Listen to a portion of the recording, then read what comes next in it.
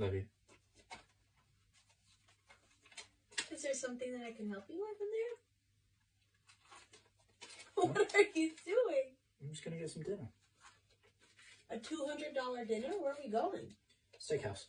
I'm treating you. Okay, treating you with my money. Yeah. Is that right? What's mine is yours. I can't wait to be your wife and take all yours. No.